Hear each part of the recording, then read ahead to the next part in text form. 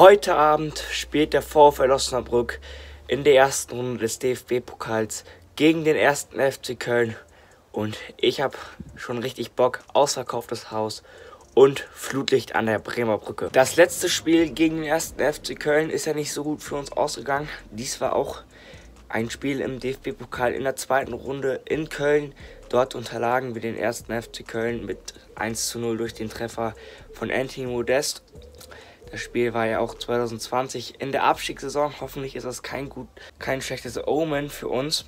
Aber recht bisher sieht es ganz solide aus für uns. In den ersten beiden Spielen haben wir einen Punkt geholt gegen zwei Teams, die ja oben auf jeden Fall oder im oberen Drittel auf jeden Fall wahrscheinlich mitspielen werden. Gegen Karlsruhe SC und gegen den SC Paderborn.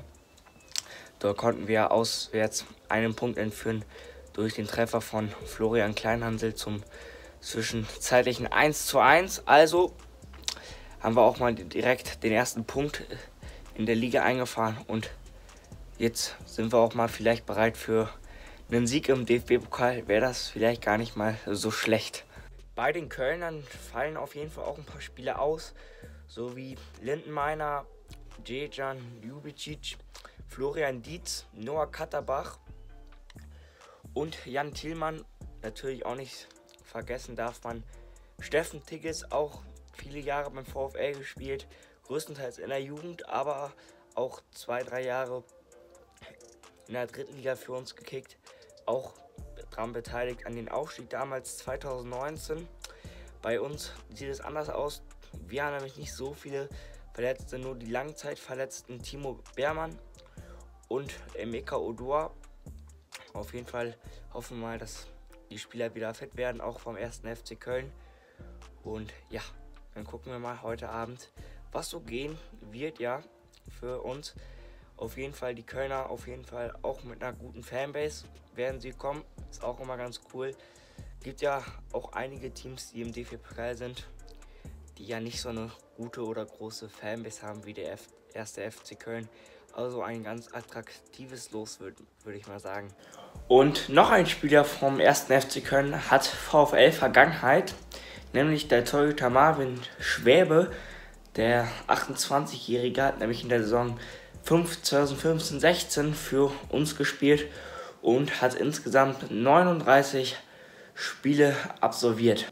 Und ihr seht ja schon, so kann man natürlich nicht ins Stadion gehen. Also zeige ich euch mal eben mein Outfit. Und das ist natürlich das Heimtrikot von dieser Saison mit Christian Conte hinten drauf. Und das ziehen wir mal eben ganz schnell an, nämlich auf diese Art. Und circa in einer Stunde geht's los und dann machen wir uns auf den Weg nach Osnabrück zum Pokalspiel gegen den ersten FC Köln. Wir haben es jetzt 18 Uhr, das heißt, jetzt geht's ab nach Osnabrück. Nehmen wir mal vorsichtshalber eine Jacke mit da es ja später vielleicht etwas kühler werden könnte. Und dann geht jetzt ab nach Osterbrück. Der Brücken-Eistee ist natürlich auch am Start.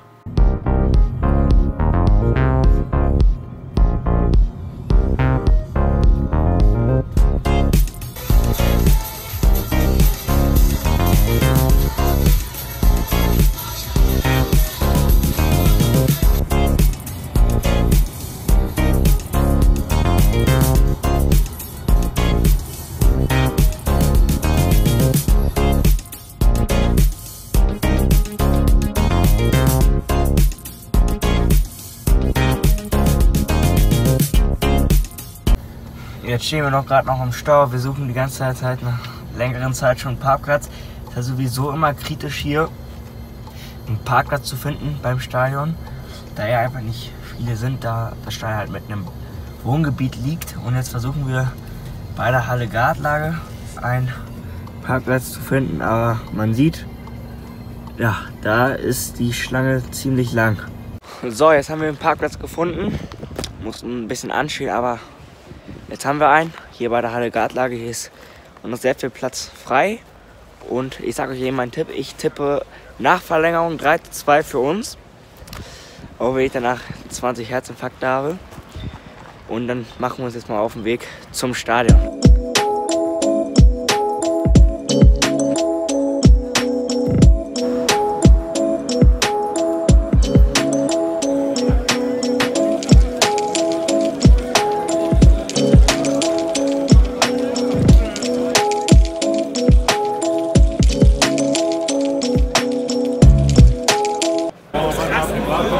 Schön was los hier. Und jetzt gibt es erstmal aber eine schöne Manta-Platte und was zu tun. Jetzt gibt es erstmal was zu essen, eine schöne Manta-Platte. Und dann geht es gleich ins Stadion in circa ja, einer Stunde um 15 Minuten ist Anstoß. Und es wird heute auch eine Choreo geben. Also bin mal gespannt, wie die aussieht. Sehr, sehr nice. Die Aufstellung ist auch schon draußen. Ich blende sie euch hier ein. Es gibt sogar ein paar Veränderungen. Ja, Pipo Kühn ist im Tor für Lennart Grill. Vielleicht, ich weiß nicht ganz genau, aber kann sein, dass Kühn noch ja, im Pokal jetzt, wenn wir weiterkommen und so, halt jetzt immer im Tor stehen wird. Halt, dass Kühn halt DFB-Pokal-Torwart ist. Und halt Viererkette so geblieben mit Aideni, Wiemann, Jumpy und Kleinhansel. Das Mittelfeld ist auch so geblieben mit Thala, Matesche und Kunze. Aber der Sturm hat sich so gut wie ganz verändert. Nämlich für Conte, äh, Conte ist drauf, für Noel Niemann. Vried bleibt in, ähm, im Sturm, war ja auch in Paderborn Stur im Spiel schon im Sturm. Neben Erik Engelhardt und Charalambos Makridis ist für Erik Engelhardt in der Partie. Auf geht's! Angekommen und in 45 Minuten geht's los. Stadion schon ganz gut gefüllt auch. Natürlich ausverkaufter Gästeblock. Auch ein paar Köln-Fans auch hier. Der Osnabrücker, ein Bereich, kann man auch manchmal so erkennen. Waren immer wieder ein, zwei Kölner und die Osnabrücker. Und die Ost natürlich schon jetzt schon rappelvoll und eine coole Choreo wird geben. Herz der Stadt Osnabrück.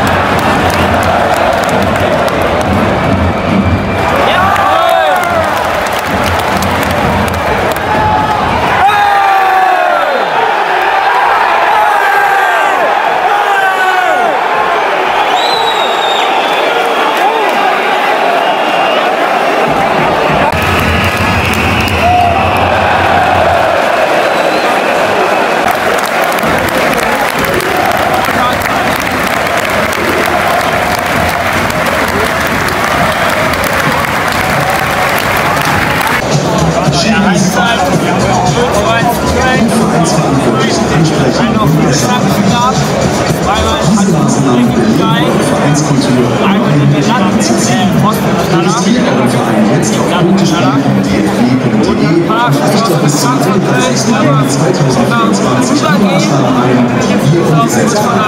Vom 1. Juli 2023 an nach dem Beginn ihrer attraktive Vereinsthemen erfolgt. Fußballzeit ist die beste Zeit. Die kurz bei dir am Tisch So, dann schauen wir mal auf die Endergebnisse auf die Konferenz der Organisation der gute Das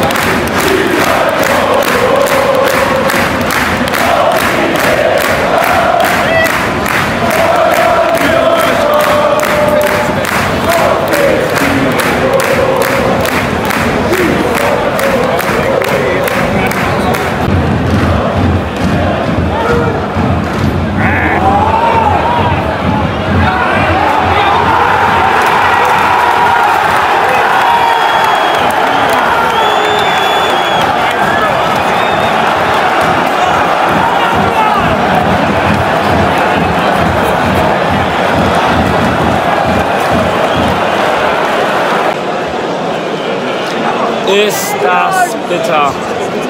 Der Ball rutscht bis ganz da auf den zweiten Pfosten durch und da steht der Kölner.